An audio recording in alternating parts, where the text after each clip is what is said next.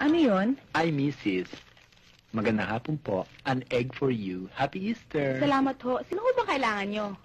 Kayo may kailangan sa akin. Ako? Kasi ang sabi rito oh, sa classified ads, help wanted, female, maid, cook, lavandera, o future yaya na rin.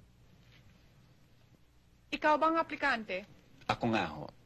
Wala naman yatang ibang tao rito eh. Ano ka ba talaga? Karatista? Tagahanga ni Michael Jackson?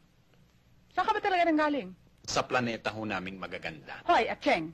Atchay ang hinahanap ko dito. Hindi Acheng. Alam mo bang sabi nila? Hindi po. Buti pa raw ang tiyonggo. Buwisit lang. Pero ang bakla, malas. Malas daw. Hoy! Doña Chitipay! Ako hindi nagpunta rito para insultuin ng isang buki. Anong buki? Butiki? Mamol! Anong mamol? Ignoranta! At kung hindi ako pinanganak ng mayaman at edukada, yan dila mo pinasok ko dun sa dapob. Ah, anong gapog? Oven, ignoramus. Makalayas na nga. Hoy, buntis, doon ako sa harap dadaan, ha? Mayaman ako. Baka akala mo yung pera mo ang hinahabol ko. Ako, ang gusto ko lang experience. Hindi ako magpapabayad. Libre. TY. Ha? Libre? Ah, ah, Acheng! Acheng na mayaman! Teka muna! Nagbibiro lang ako! Goodbye. Acheng! Acheng!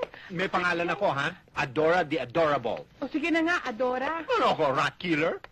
Eh bakit? Number one naman yun, di ba? Kung sa bagay,